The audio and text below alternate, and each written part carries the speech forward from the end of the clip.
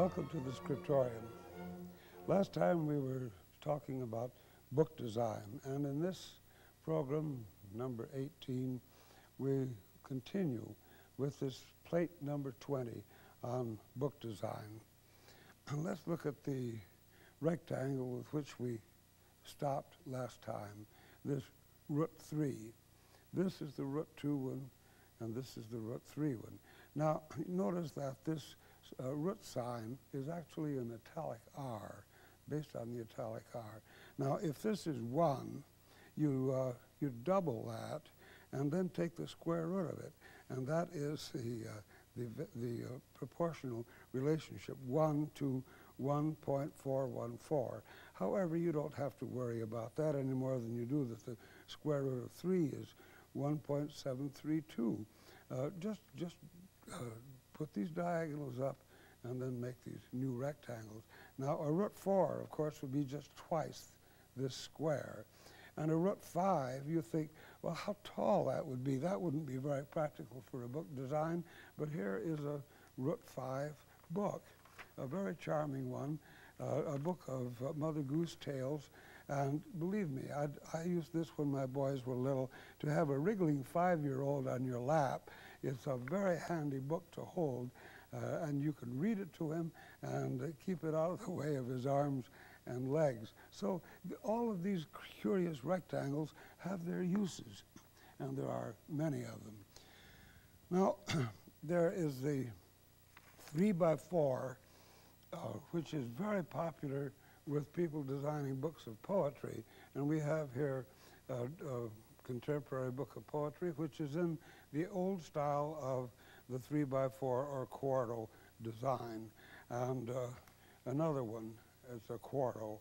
So the three by four uh, rectangle is a very popular one, especially in regard to poetry. I find that it's the only rectangle which makes the sonnet look really good. And the sonnet is, is awful, awfully uh, short for its width, and uh, it's hard to find a rectangle which will make a sonnet look good. Now, to get a really handsome, a really handsome design, let's uh, see what this canon is that was uh, developed in the Middle Ages, not used exclusively by all designers, but it's amazing how many of them apparently knew the shop practice of the canon and used it. So I've taken a rectangle here made up of two, uh, two golden section rectangles. And by the way, the golden section rectangle has the proportions of 8, uh, 8 5 wide, 8.5 high, or 21 by 34. Now, you may wonder how you can remember 21 by 34. Uh, maybe I shouldn't get into this, but this is a fascinating thing. a great mathematician in the Renaissance named Fibonacci uh, discovered a series. One, two, three. Now add, see, two and one makes three. Add three and two, five. Five and three, eight. Eight and five, 13. Eight and 13, 21. 21 and 13, 34. And this incredible golden ratio, which is such a beautiful proportional relationship, uh, is too complex. There are books have been written about that, but you'll find it in Greek architecture, you'll find it in Greek vases, you'll find it in Greek painting, you'll find it in Roman imitations of the Greek, and in much Renaissance art. But if you don't remember the, the ratio of 21 to 34, just use the Fibonacci series by counting to three and then adding uh, each number with the previous one, and you can arrive at the 21 by 34. Now let's see this incredible formula that was discovered by Tschichold. He, he had the cue from a manuscript book from the late Middle Ages of an architect, a Parisian architect. You draw the diagonals. Uh, these are two pages, by the way. As William Morris discovered in the Middle Ages and the Renaissance, the, the two pages were used as a unit, not one page. Now here is the, the beginning of our book, and the gutter is in here. That is the mid part of the book. Two pages. But let's take at this center, let's draw diagonals to the outer corners. And with a hard pencil for accuracy, you can get what you're seeking. Now that is nothing to frighten the student. Uh, that should be pulled. But we're ready now to find out what the margins should be. Let me get this paper straightened up.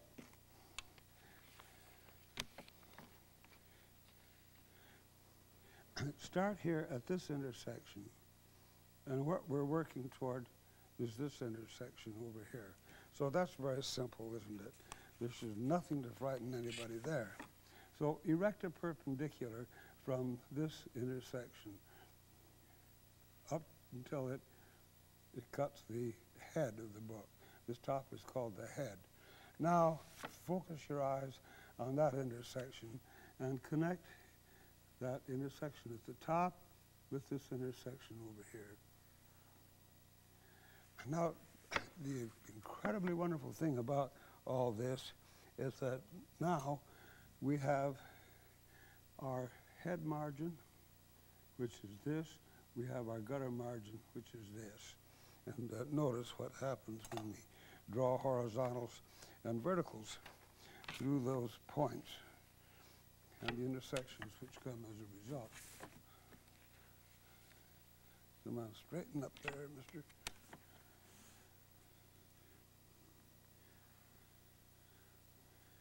Now, there's our top margin. By the way, in doing this work, use drafting tape. I don't want to stop to put it on. It takes too long. We don't have much time. But where this horizontal intersects that long diagonal, drop a perpendicular. This is our side margin. Now where that intersects the, the, the top diagonal here, draw a horizontal. Be sure I have this level here. And this is the bottom margin. Now the inner margin, the margin in the gutter, is found by just dropping a perpendicular from that place.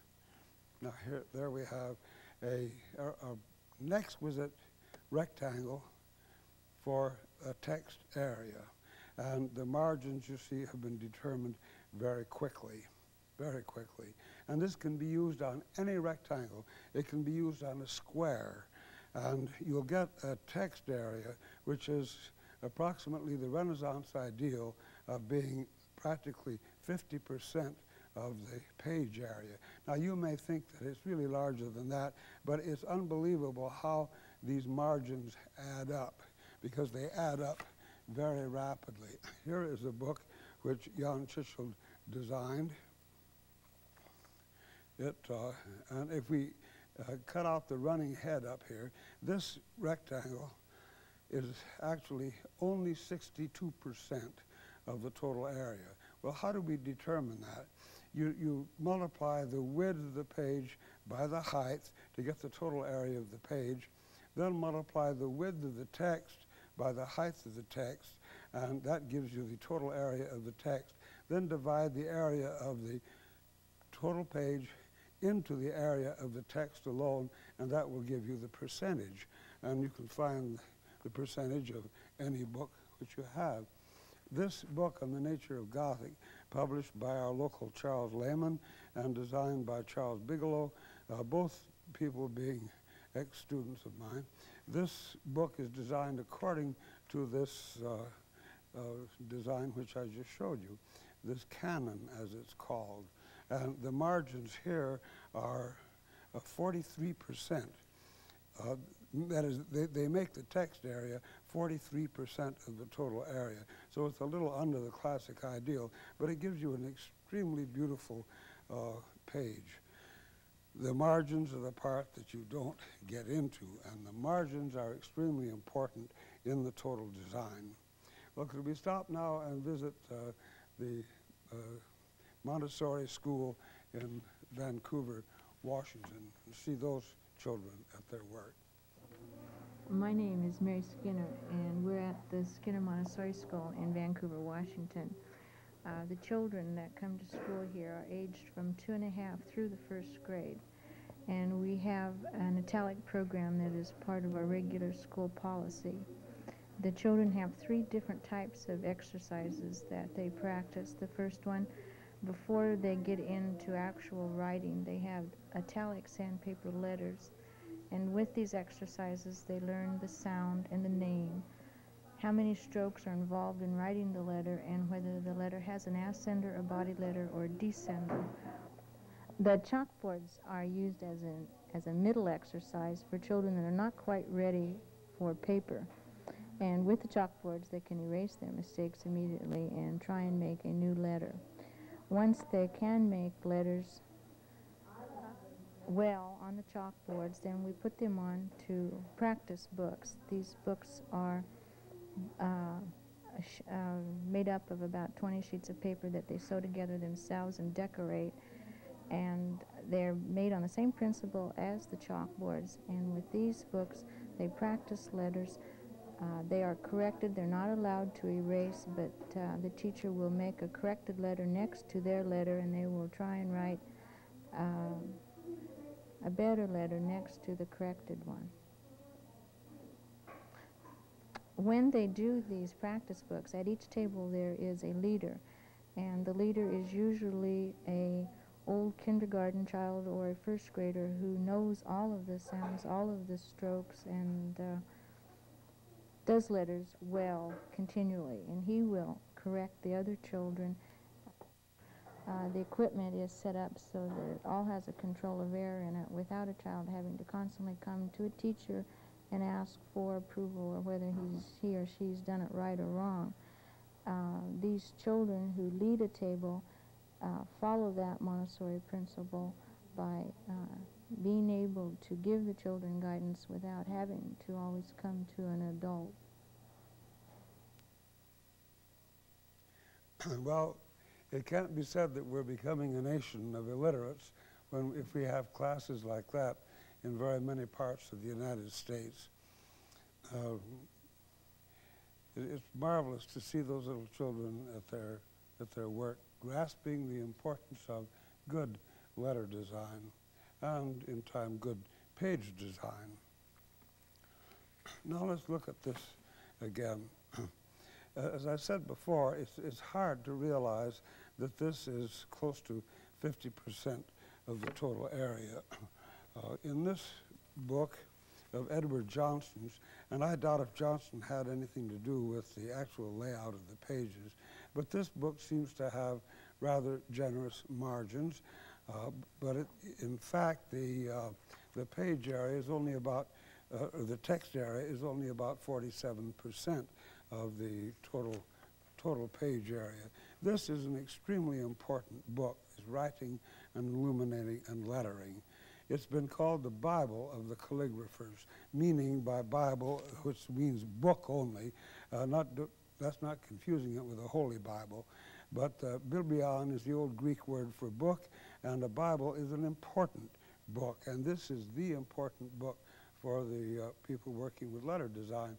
So I would advise you to get a copy of this uh, if you work your way through this course and through my textbook. It's not a book for beginners but uh, for people who are intermediate or advanced. In that author's introduction, Johnston says the most important use of letters is in the making of books. The most important use in the making of books. Now he speaks of uh, the job opportunities possibly in writing out awards, presentations to, on parchment to be given to board members or vice presidents of corporations or big companies when they retire. And there is quite a bit of that work possible. Uh, in, in the Northwest at present, bronze plaques tend to be given more often than uh, awards written out on parchment. But I think if we could demonstrate our ability to do this work, that we would have more work to do on parchment and vellum in calligraphy. Now, only, only uh, lawyers, doctors and dentists today tend to put such awards in frames and hang them on their walls, and they're on their office walls. Generally, if a person gets an honorary degree, and I've written out many of them for people uh, for any reason whatsoever, or an award, he doesn't want it framed and hanging on his uh, living room wall. I think the best solution, and I've used this sometimes, is to design the award in a relatively small size and put it in book form. And if it's in book form, then he can put it on his library shelf, leave it on the table in his library or his living room, and if people want to look at it, there it is. See, if, his, if it stayed rolled up, it's likely to get crushed. And when it gets crushed, then it's, it's ruined, it'll get dirty, and uh, the thing, it's in book form, it stays in, in good condition. So let's, uh, let's go on with this. what are you going to do with this is a big question. Uh, suppose this, we want to, to use this and we want to put a poem on it. What do we do? We write out the longest line on our poem and we find that it is too long for this or it is too short for it. So what do you do? Do you make another diagram and another one and another one and another one, just guessing all the time? Uh, that's almost a hopeless approach because you can lose no end of time and become extremely nervous in trying to guess at just what will give you the right text width for the line that you have written. Now, uh, in the last, the last uh, of the plates, which is, uh, are discussed, I've developed what pleased Jan Tschichold very much, a, a way of of starting with your own line. And it's explained here. I'll use here a, a root two, or, or, a two to three rectangle. By the way, the nice thing about the root, uh, or about the two to three rectangle, is that the width of the page is also the height of the text. And that's one of the things that makes it a very pleasing uh, relationship. What you want to be sure to have under all conditions is to have the same proportion in the text area that is in the total book page. And you can tell, if you have it, this corner up here and this corner down here will be on that diagonal. If they're on that diagonal, obviously the text area is in direct proportion to the page area. So th this will solve one of the most difficult problems regarding getting a beautiful page layout. Now, uh, we want to find out if our longest, how our longest line will work. What we do is design the whole book around our longest line. So before we start in, let's take some measurements. We don't need to use a ruler. We can use the paper strips or the compasses. I have some compasses here if I can find them. Here they are. Now let's take some measurements off on this side take the height of the text area and uh, we'll mark that.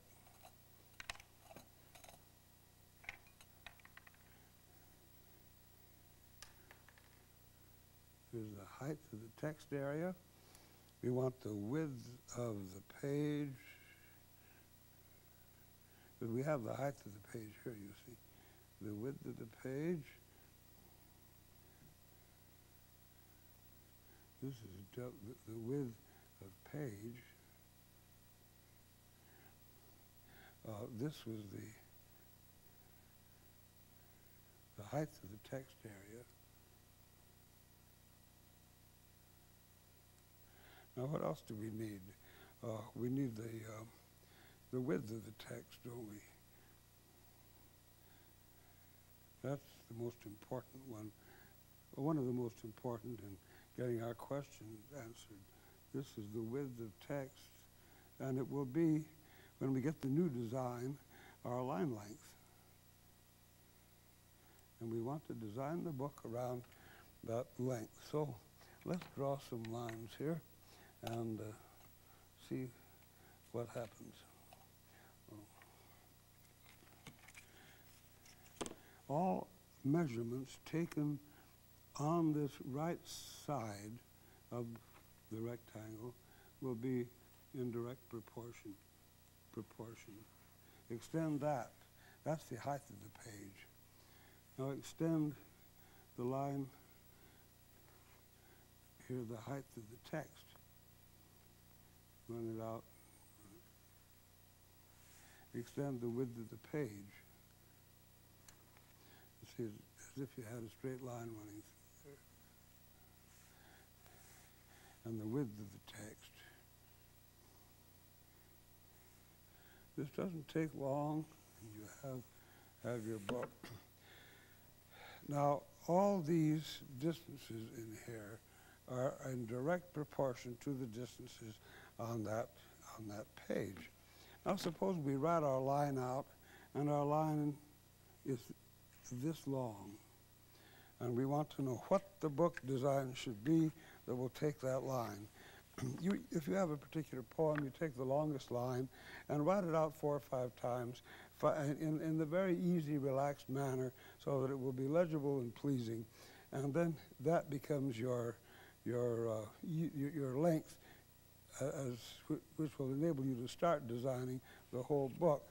Well, with that length of line marked vertically over on the left, let's extend a horizontal through that